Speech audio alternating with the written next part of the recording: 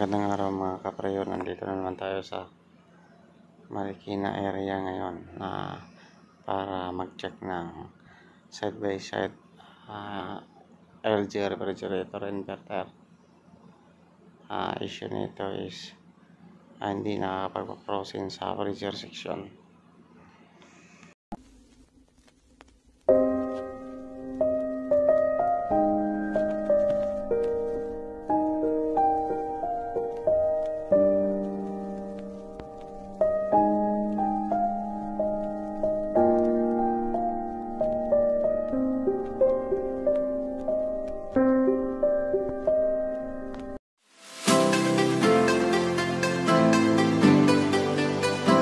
A few moments later. Guys, ito na yung araw na uh, binalikan na namin yung at sinek namin nung nakarang araw. So ngayon, uh, kakabitan po natin ng uh, axis bulb para malagyan ng pressure. Uh, 120 to 150 PSI ang ilagay natin para titingnan natin ulit yung evaporate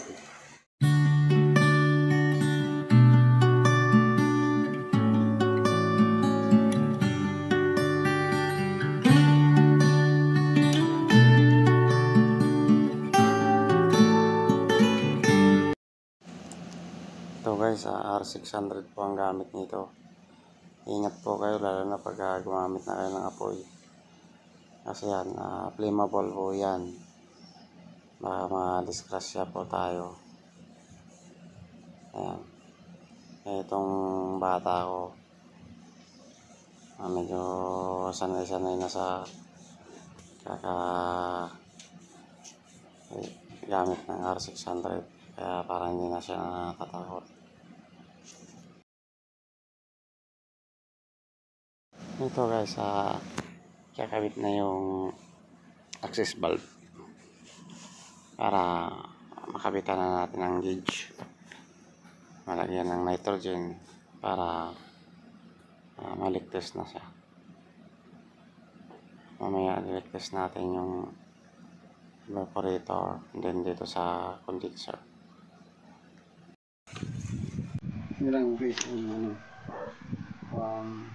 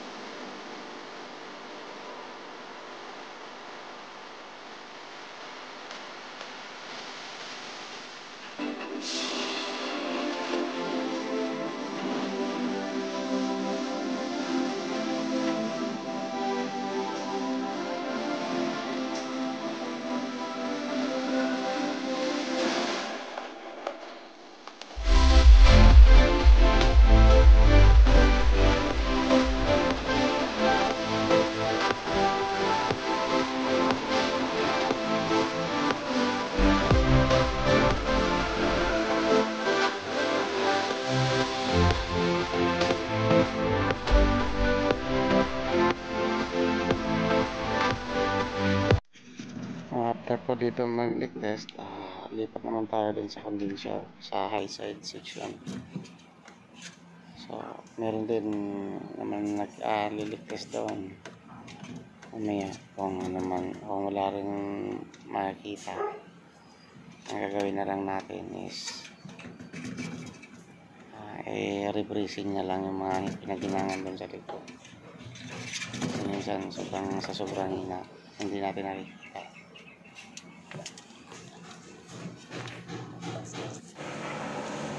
na nga.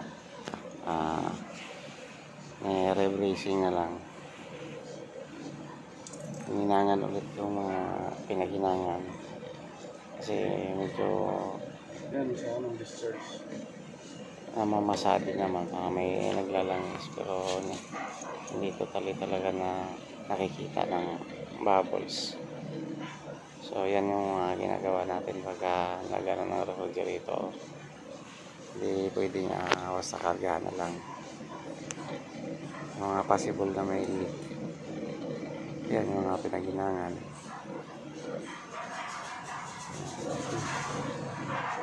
Papatungan lang. Kaya nyo papatutunawin tapos papatungan ulit. Yan. Ganyan po guys para least sigurado ka. Ayan na, nagdagdag po kami ng pressure niyan kanina habang nilig test. Isa 150. So para wala na mga kita pa rin. Ayan, kasi nga rin uh, nagre-racing na lang. Huwag kayong mag-iinom ng ah may pressure, sasambukan po tayo ng halilisgrasya tayo. Pwede tayo mabulag. Wala namang minded sa atin. Alam niya na nililinis na yung dapat linisin. Ah, para matuwa naman si customer.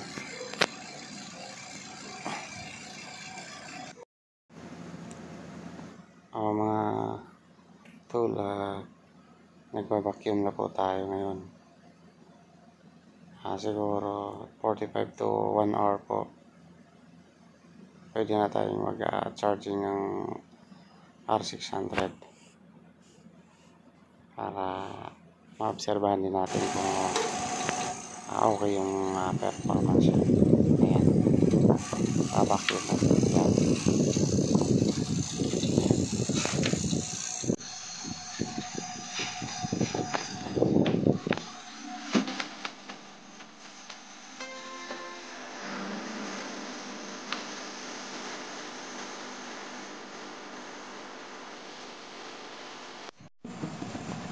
Guys, ah binili ko po yung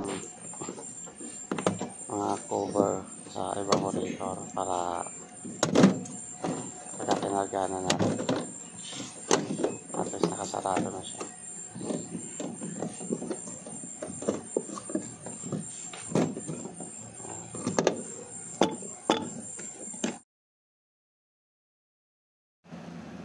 Na nagkakarga na po tayo ngayon.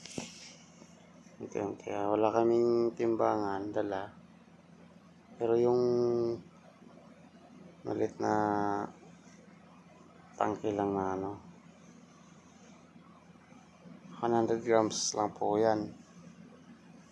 Ang isa-charge naman natin is ah, 80 grams based doon sa plate ng ah, refrigerator. So, konting diferensya lang ah hindi na lang natin naubusin. Kumbaga, babantayan natin sa amperahe. And then, siyempre sa performance din ng unit. Sa compressor, yung init ng condenser. Yan lang. Tandaan nilang natin baga pagkarga. Hindi, hindi pa bigla-bigla.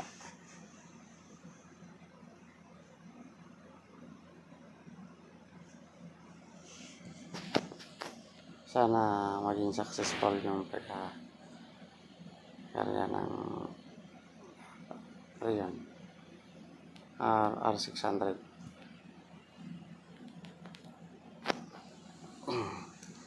Guys, ah medyo ano na kasi hindi naman natin ma antay yung kung makapagpa-frozen siya. Update ko na lang kayo. Ah, kung magiging successful yung paggawa natin. Pero so okay naman yung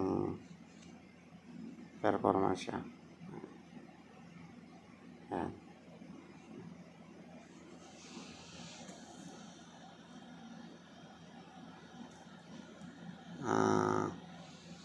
kanina pala nagkaroon ng problema. Bukod na dyan sa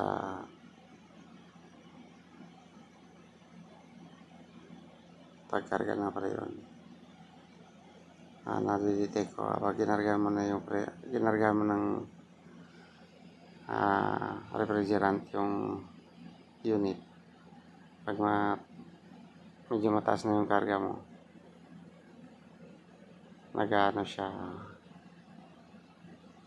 namamatay bigla yung compressor. So, ngayon, di, di double check ko yung connection. Pati yung overload. Okay naman. Ano, sinilip ko yung dun sa board, mother, motherboard. Ah, mayroon siyang 10 UF na kapasitor.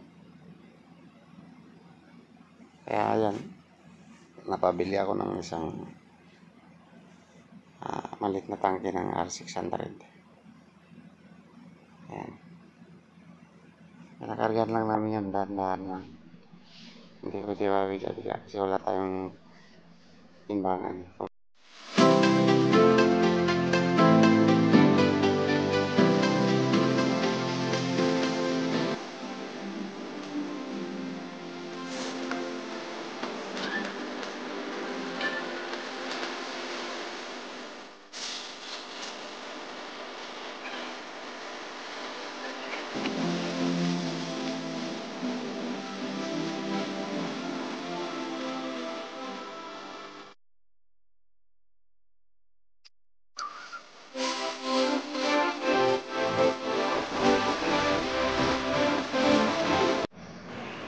Guys, ito pala yung sinabi ko kanina na na may ka-trouble doon sa